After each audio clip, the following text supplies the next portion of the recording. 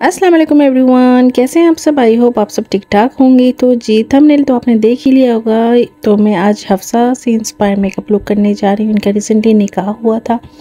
बहुत ही सिंपल सा लुक था तो सोचा क्यों ना आप साथ शेयर कर दूँ। तो सबसे पहले जो है ना, मैंने यहाँ पे लिया है कंसीलर उससे पहले मैंने अपने आईब्रोज फिल कर लिए थे। फिर मैंने यहाँ पे लिया है कंसीलर उसके साथ मैं अपने आईब्रोज को अच्छे से नीट कर लूँगी।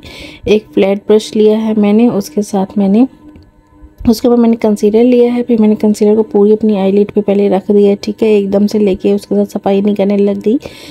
इस तरह से हैंडल करना मुश्किल हो जाता तो अपने आई पे कंसीलर रख लेना है, जितनी नीड हो उसके साथ आईब्रोज के नीचे नीचे रख के उसको सफ़ कर देना है, ठीक है? उसके बाद जी यहाँ पे मैंने लिया है फेस पाउडर उसके साथ मैं इसको अच्छे से सेट कर दूँगी। और यहाँ पे जी ग्लैमरस फेस की पैलेट यूज़ किया है, आप कोई भी कर लो जो आपके पास अवेलेबल हो, ठीक है? ये वाली तो वैसे हर पाकिस्तान में, हर दूसरे चौथे बंदे के पास होती है ठीक है? उसमें से मैंने ये वाला ब्राउन सा शेड लिया है आउटर कॉर्नर पे ज़्यादा फोकस रखा था, इनका मेकअप जो था आउटर कॉर्नर पे ज़्यादा थोड़ा सा डार्क था। तो जी, ठीक है, मैंने जब शेड लगा लिया, उसके बाद ब्लेंडिंग ब्रश लिया, उसके साथ इसके एजिस को अच्छे से ब्लेंड कर दिया, ठीक है? ब्लेंड करते करते इनर कॉर्नर की तरफ़ चली गई थी, जो बचा कुचा था, वो ब्रश पे लगा रह गया, उसको लोअर लेस लाइन पे मैंने इसको अच्छे से लगा दिया था, ठीक है?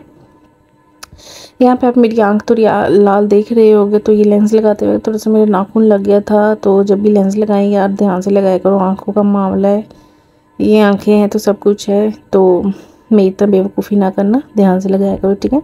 तो यहाँ पे जो है ना, मैंने हाइलाइटर लिया, इसी पैलेट में से उसके साथ इनर इनर कॉर्नर और प्रोबोन को हाईलाइट कर लिया, और उसी पैलेट में से ये गोल्डन सा शेड लिया है, इसको मैं फिंगर के साथ ही अपनी लिट पे अप्लाई कर लूँगी। ये जो शिमली शेड होते हैं, फिंगर के साथ लगाया करें, बहुत अच्छी पिगमेंट आती है ब्रश के साथ इतनी अच्छी नहीं आती। बाकी यहाँ पे मैंने क्राइलोन का केक लाइनर यूज़ किया था, इसको मैंने लेश लाइन के साथ रख के आउटर कॉर्नर पे विंग बना लिया और एज अ उस वाटर लाइन पे काजे लगा लिया और यहाँ पे लगा ली है मैंने लेशेस और यहाँ पे मैं थोड़ा बहुत ब्लश अप्लाई कर लूँगी। ब्लश आपकी अपनी चॉइस है, लगाना है, लगा लो, नहीं तो स्किप कर दो। वैसे लगाओ तो ज़्यादा खूबसूरत लगता है। मुझे पिंक ज़्यादा पसंद है मैं पिंक लगा लेती हूँ। और उसके बाद जी यहाँ पे मेरा मोस्ट फेवरेट हाइलाइटर है स्लिस ब्यूटी का। इसको मैंने ब्रोबोन और चिक्स पे दोबारा से अप्लाई कर लिया और बाद में थोड़ी सी ज्वेलरी पहन ली थी। ज्वेलरी मेरे पास सेम नहीं थी बट जो थी मैंने ठोप ली अपने बालों में, अपनी नाक में। तो यहाँ पे हो गया मेरा लुक कंप्लीट होप आपको अच्छा लगा ऐसी और वीडियोज़ देखने के लिए मेरे चैनल को जल्दी से कर लें सब्सक्राइब कमेंट बॉक्स में लाजमी बताइएगा आपको वीडियो कैसी लगी। तो मिलते हैं नेक्स्ट वीडियो में। अपना ढेर सारा ख्याल रखिएगा और मुझे अपनी दुआओं में याद रखिएगा और मुझे ऐसे सपोर्ट करते रहिएगा। अल्लाह हाफिज़।